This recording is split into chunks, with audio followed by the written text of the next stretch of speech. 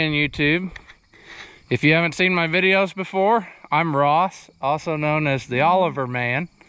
And before we do anything today, I first want to say thank you because we've got over 200 subscribers now to this channel. I'm glad you're enjoying the Oliver and White theme videos and I hope to keep making more as long as everybody wants to see them. Well, for today's topic, I thought we would talk about some of the electrical system components on the Oliver tractor, specifically the alternators. And for that, we're gonna go over to a different tractor. If you follow me on Facebook, you might recall that I got this tractor back in May, I believe it was. I can put some pictures in of how it looked when I first brought it home. It had a cab on it and I took that off in one of the other videos.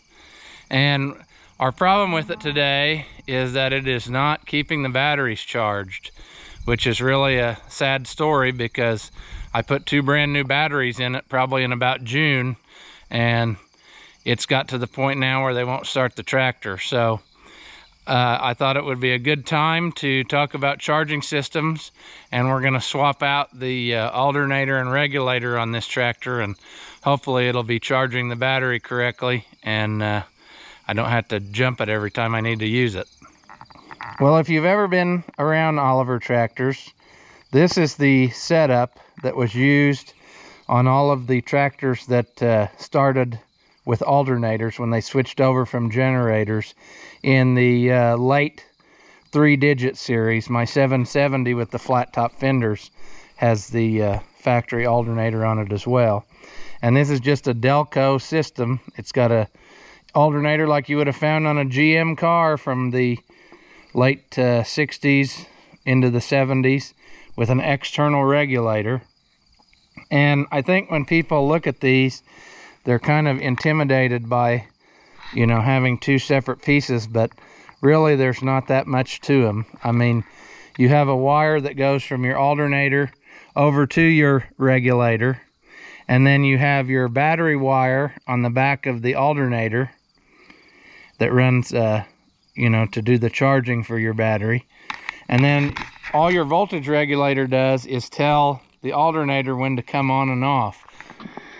Basically, on your regulator, you have the wire that comes from the alternator that goes over to your field terminal on the regulator. And then you have a wire that is hooked to the key and tells it when to turn on and start charging. Some of these regulators actually use a third wire in here that is uh, hot all the time. And I've encountered that before. And what I usually do is I just make a jumper wire from here to here, and then that'll fix that problem. So you'll have to just see which uh, type of regulator you end up with, but either way it'll work. I like to put this setup back on the tractors just because that's the way they were made. I know a lot of guys swap out to the some of the different style alternators, which I'll show you here in a minute, but I like to keep things somewhat original. Uh, if it came from the factory with an alternator, put it back like it was. They have a nice bracket they made that bolts to the block to hold the regulator. So I just, I, I've been doing it that way. I don't know. There's no right or wrong way. It's your tractor. Do whatever you want. But I like to put them back the way they're supposed to be if they had an alternator from the factory. The next variation of three-wire alternators is this, which is known as a 10SI. And basically what the difference is, is the, it has an internal regulator. So you don't have to have an external regulator on here. And uh, I use these whenever there's space on tractors that didn't originally come with an alternator, like a Super. This is a Super 77. And you don't have to worry about uh, clearance here with your side panels. And I'll show you some examples of things I've done on mine later when we talk about how to convert them over to alternators. But anyway, this is a 10SI, three wire. You have your battery wire your charging goes to. And then you need to have one wire up here that is hot all the time. And then one wire that is comes on with the key to signal it when to charge. So what I do again is I just jumper this wire over here instead of running another separate wire back to uh, get to the battery power. So this is a simple setup and I like it because it charges right away uh, when you turn the key on. This is what is known as a one-wire alternator. It's identical to the uh, 10SI that we just saw in the other tractor, except you see there's no place for a plug here. They've got it capped off. It uses an internal regulator with a self-exciter. So what happens is you rev the engine up to a certain RPM and it kicks in and tells this thing to start charging. Now this is great if you want a simple uh, hookup because you only have to have the one battery wire. But what I don't like about it is there are certain situations where uh, if you aren't paying attention and don't rev it up first, uh, the alternator won't be charging and then all day you're running this or whatever it's just running the thing dead you know if you were running something like a hay elevator and you just had the tractor about half throttle or less it may not be enough to tell the thing to start charging and then all day long where you're using it it's sitting there just drawing current off the battery but not uh, doing any charging. So that's my big reason why I don't like to use these. I tried a few on a few of my tractors that I converted over but I ended up where I just started putting the other one on that had the three wires so that as soon as you turn the key on it would start charging and you didn't have to worry about that. Now a lot of people like to convert their older tractors that had generators to an alternator and I do the same thing whenever I can just because they just are so much uh, more reliable it seems like and it less maintenance. And there's several tricks I've learned along the way about what will fit and where. And uh, I guess we'll just start with this one.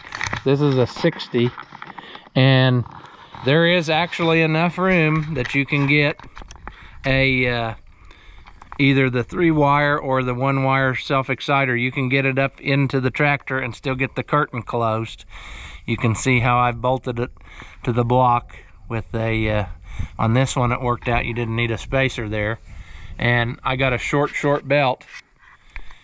And actually I just realized that I don't even have the I don't have the uh, bracket hooked up for the tension.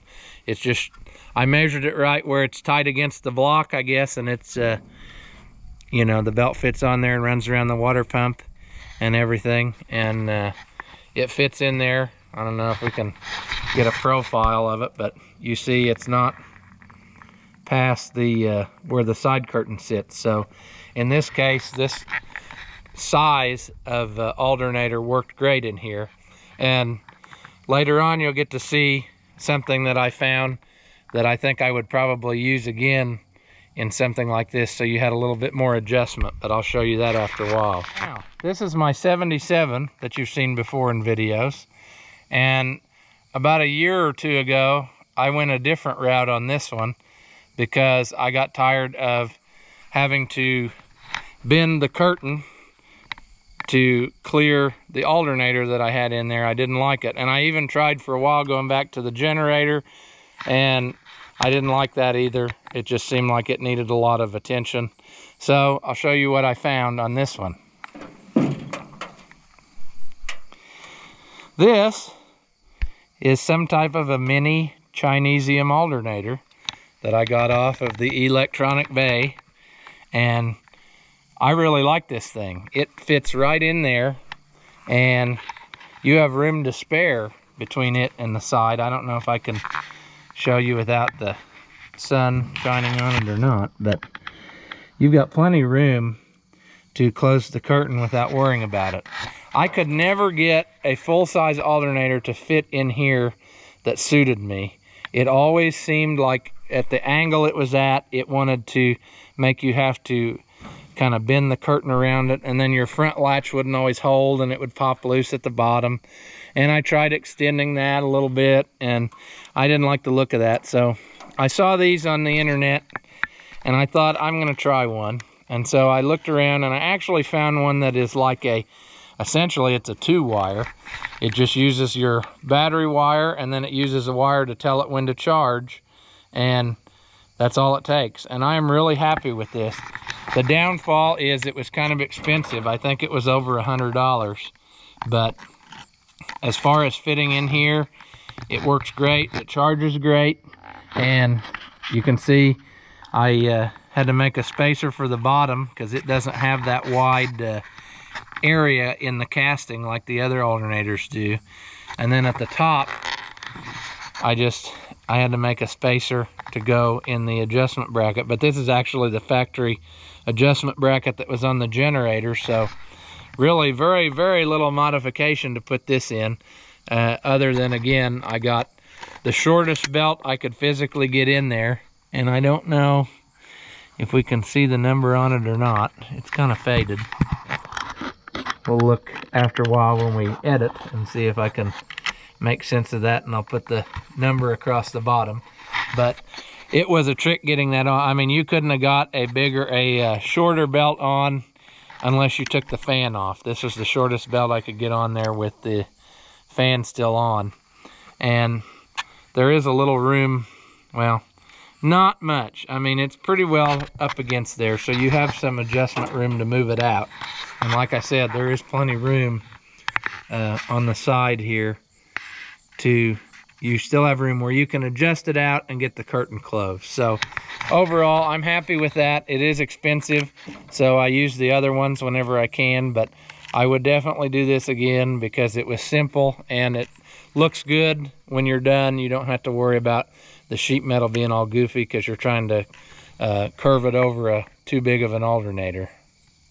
Here's a 70 and as you can see it's got a full-size alternator on it and you can see what I'm talking about about having to kind of bow the curtains out and then the hinge doesn't stay closed so sometime I'm gonna get another one of those mini alternators for this because I really don't like having to do that. I could probably get a shorter belt and get this closed a little bit up in there because there is room, but uh, I think the simplest thing is just those mini alternators. I'm, I'm a fan of it. There is room with the way this block is. You can curve this up in there and get the panel closed, but you don't really have much adjustment before you have to start uh, you know, worrying about bending the panel like uh, you saw a minute ago.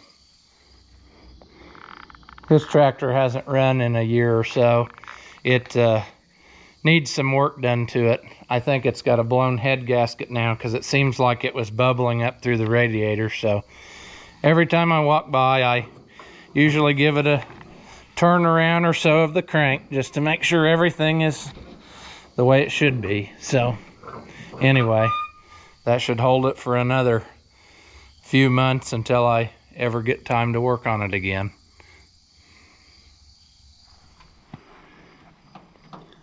Well, this is an 88, as you can see, and you have plenty room to put whatever you want in this one. There's quite a bit of clearance because the frame is wider, and so you can put a full-size alternator on there and still have plenty room. So again, like I've said, I use these uh, three wire 10SI alternators just because as soon as you turn the key on, they're charging. And in some cases, like on the Fleetlines, you may have to put in one of these and that is a diode. And basically it's like a one-way valve for electricity because uh, of the way that it's wired up on the combination switch, it's possible for the alternator to send power backwards and it won't shut the tractor off when you shut the switch off. It just runs the distributor from the alternator power. So uh, you put that diode in and it stops that problem and then it works correctly. If you put one of these on a tractor that has a switch that has an accessory position, then you can put your signal wire uh, that tells the alternator when to charge on the accessory terminal and then leave your ignition wire from your distributor on the ignition terminal and when you shut the key off it should work without the diode but you'll just have to play with it and see uh, what you come up with but anything can be done, so don't be discouraged. But on an 88, you have plenty of room to get the curtain shut, and that's how I did mine. Here's a Super 66, and again, what I said earlier, on Super Series tractors, you can put whatever you want on there because you don't have to worry about the uh, side curtain over top of the alternator. So I, like I've said in all the other ones, I use the uh, 10SI with the internal regulator and I'm happy with those. Most all of the older Olivers use this same type of starter. Uh, they interchange on pretty well all of the gas models and I mean it's a very simple setup. It's got one cable to it coming from the push button. And when you push the button on the dash, really what you're doing is you're just connecting uh, two terminals with a piece of metal inside the switch. And then it sends the current from the battery straight to the starter. And that's what turns it over to start. There are a few exceptions to this starter. And one of those is the early diesels. And I'll show you one of those right now.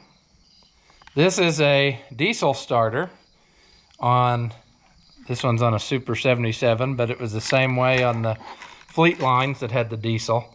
And you can see physically, this is bigger in size.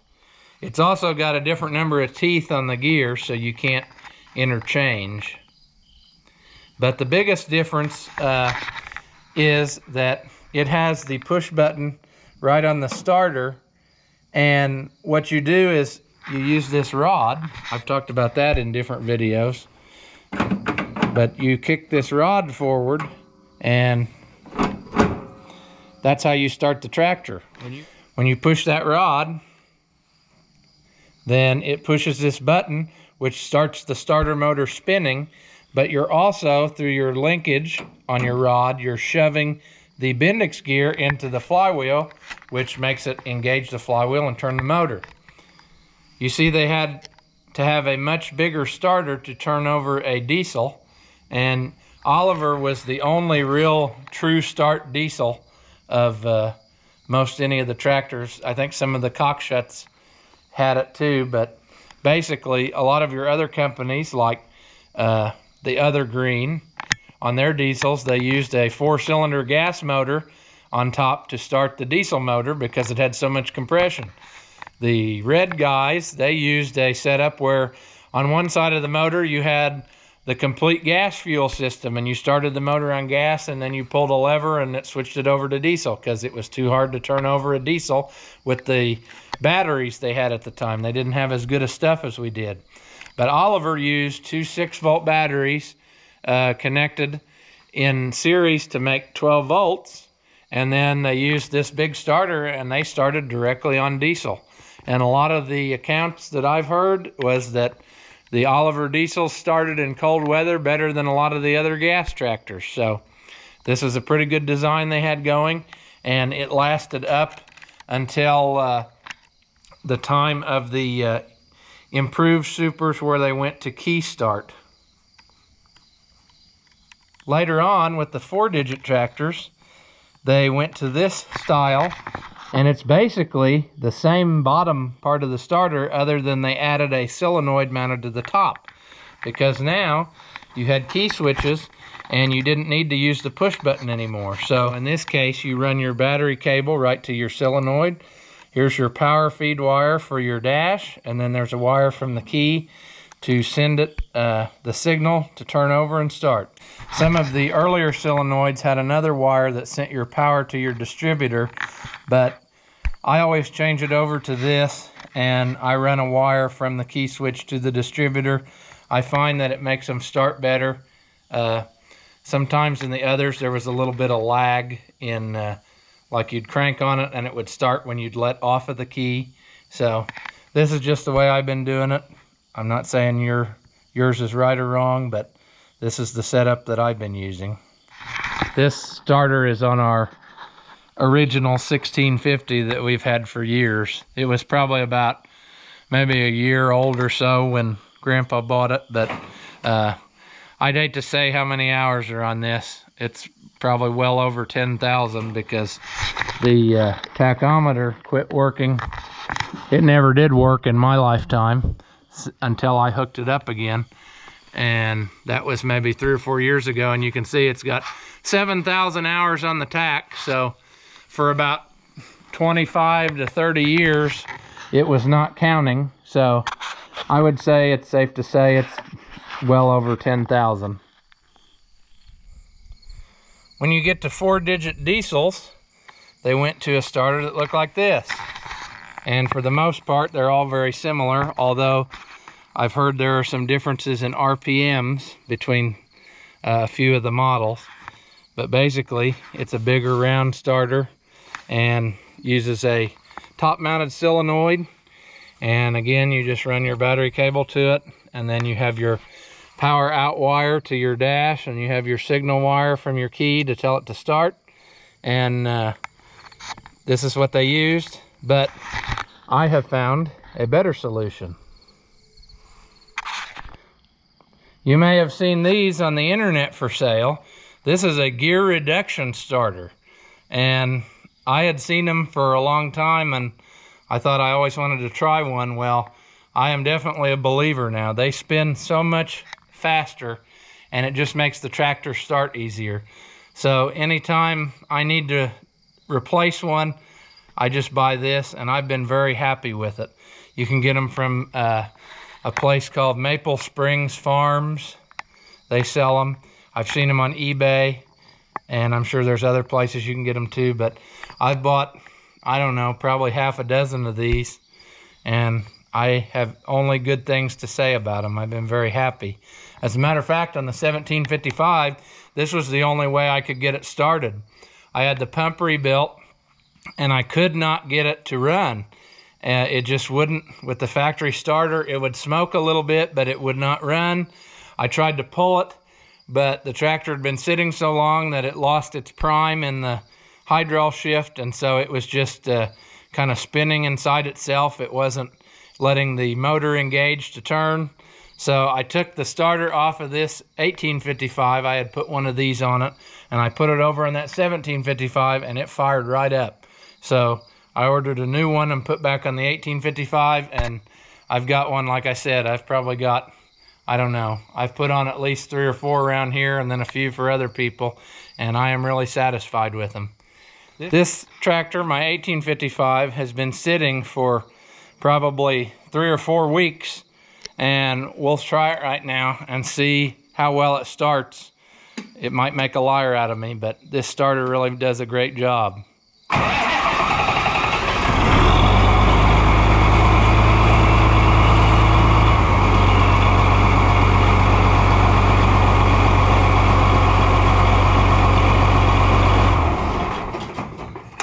So if you own one, you should be able to tell the difference between how much faster that spins versus a, uh, a factory starter. And it really spins faster than that if you're using it all the time. I'd say the batteries are probably a little weak from just sitting here, but anyway, that is well worth the money. If you're thinking about it, I highly recommend it. So honestly, I think what's going on on this 1755 is that this regulator is probably sticking and it's causing the battery to drain uh, if you forget to unhook the battery like I do. I've said in videos before, I, I like to unhook all my battery cables when I'm done. But uh, I think since the tractor sat so long, that that's probably what's at fault. But if I'm gonna put a new regulator on it, I think I'm gonna just swap it out and put a different alternator on it that I know is good. And then I don't, hopefully, in theory, have to worry about this problem for a good long time again.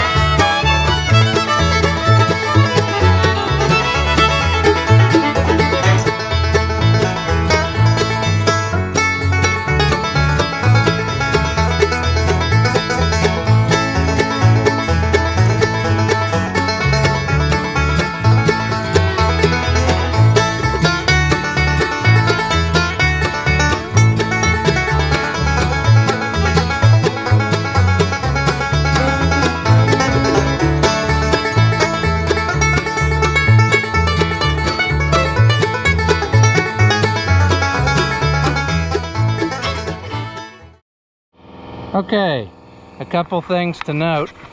There is a spacer in there, so don't lose that when you take that out. And another thing to note is that the original, as you can see, has a double groove pulley. And a lot of your replacements that you'll come across if you end up buying a new one or whatever, have a single groove pulley. So we have to switch that now. And it's really not that difficult. So we'll go do that. Simplest way to do this is with an impact. And just find your socket that fits. And I'll have to put you down to do it because it really takes two hands. Hold it with one hand and take the pulley loose with the other hand.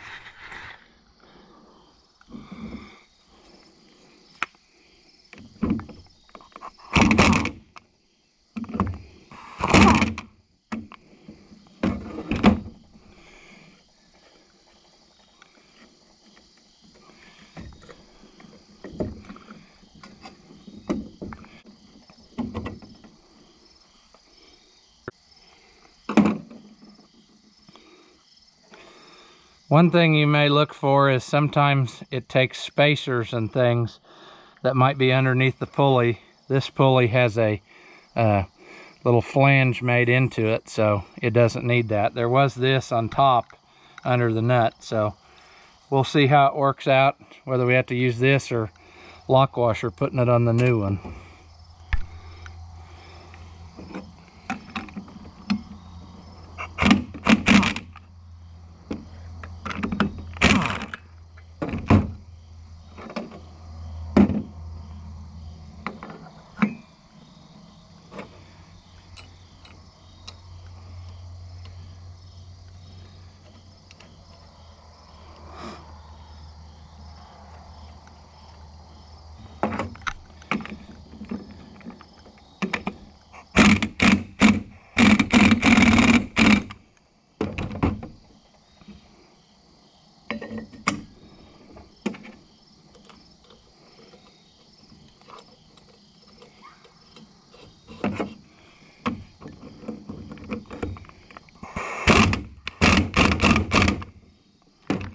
And it's just that easy. Now we're ready to put it back on.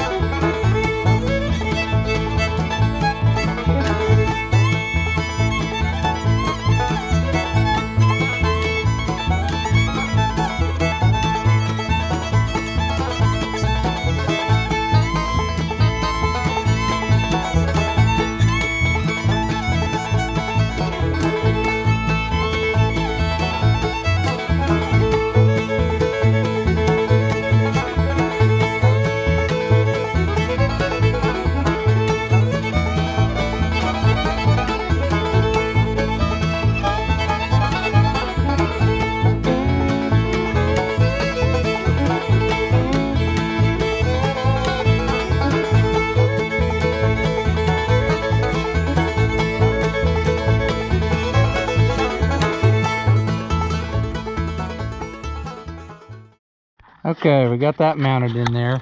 This uh, guard can be kind of troublesome.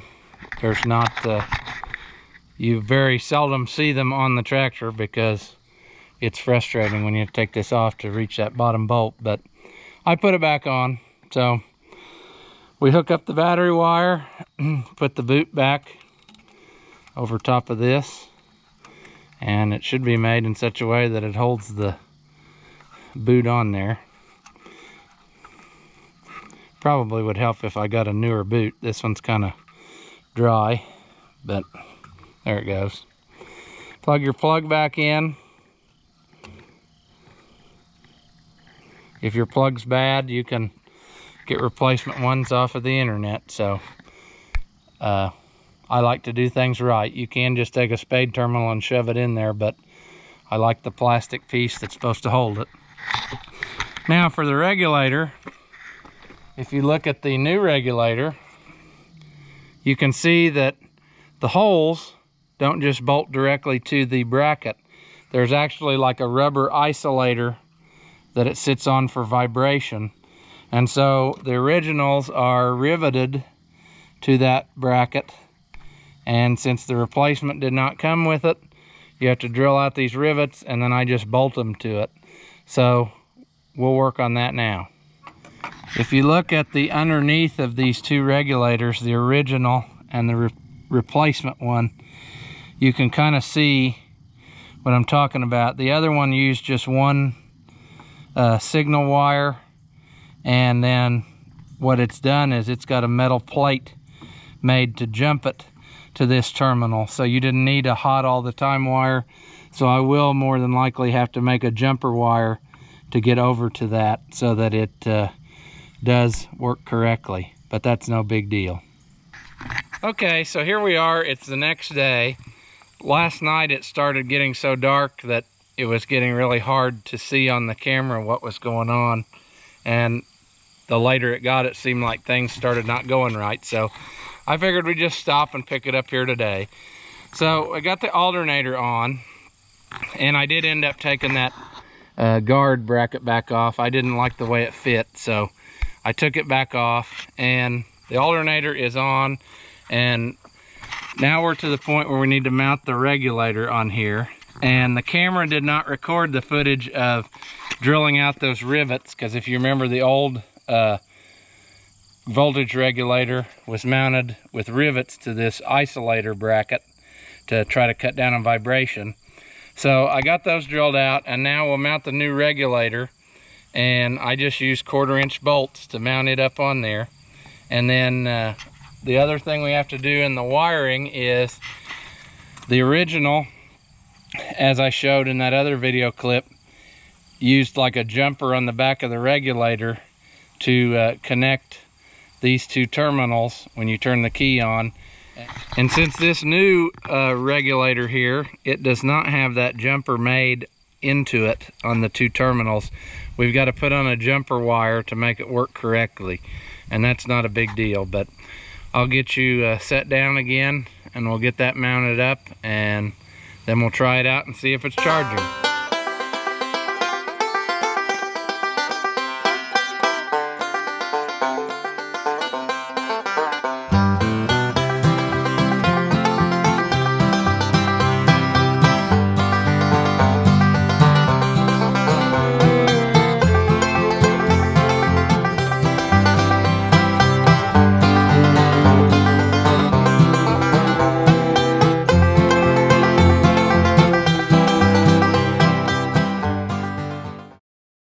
So to fix this uh, problem here with needing the jumper wire, we'll get the terminal out of the plastic housing and then I'll try to crimp an end on it and just make a little jumper loop to go over to the next terminal. So if you can see how these are made in these plastic housings, they just have a little uh, piece that sticks up off of the terminal and that locks them in the plastic so you can use it as a single plug with multiple terminals. So I've got some more of these type ends and we will just redo it and then uh, make our jumper with one too and we should be in business. I've talked about these terminal ends before and uh, it's another GM product and you can get it at Napa, a box full of them. And I like them because they just, it makes it look like it's factory and it's not, you know, a bunch of homemade crimp ends. So anyway, look them up if you're interested.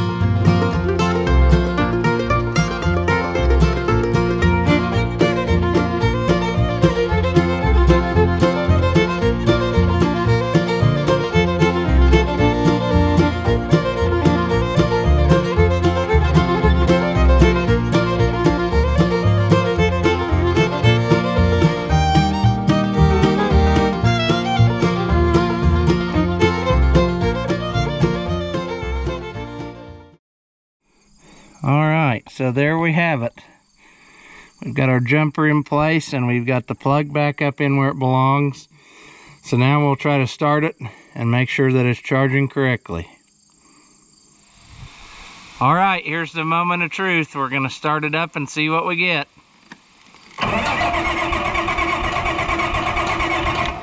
Oops, got the fuel stop out.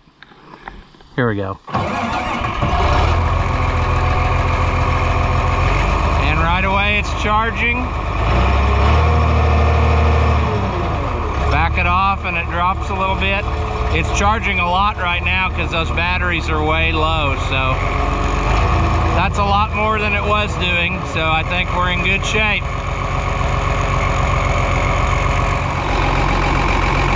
Well, there we have it, brand new setup.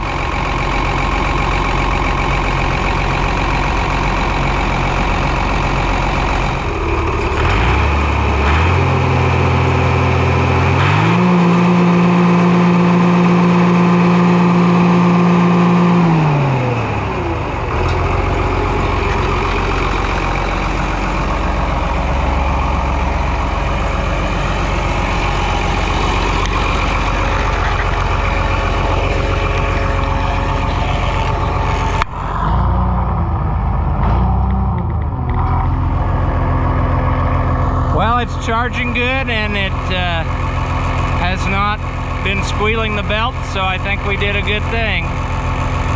And it's starting to go down uh, on the amount of charging the longer it runs, so it should be in good shape. Some of you are probably wondering why I didn't just take this and get it rebuilt. Well, I usually keep several of each style alternator on hand and then I just rotate them in and out as I need them. I've got a place that rebuilds them for me and they do it cheaper than I can even get the parts. So I usually wait till I've got two or three things to take down there and then uh, take it down there, have them check it over and then I keep it on the shelf for a spare. So anyway, I don't throw anything away. So this will be rebuilt and saved for later on sometime whenever I uh, end up needing one on something else. So that's the story with that. So again, I want to thank everybody who has subscribed. We've got over 200 subscribers and getting more every day. And again, if you aren't subscribed and you like these videos, please click the thumbs up and hit the subscribe button and I'm gonna keep making videos that have Oliver and White tractors as long as people are interested in watching. Thank you for watching and I'll see you in the next one.